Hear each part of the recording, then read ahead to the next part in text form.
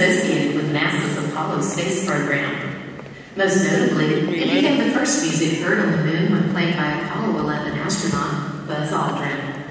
Here tonight, in the tradition of the style, poise, and sophistication that encompasses the spirit of the stewardesses of the past, flight attendants of the present, and I don't know, Cosmos concierges of the future, Miss Christie's tappers are now boarding. We ask all passengers to please your safety belts. We've been cleared for takeoff. Please enjoy your flight.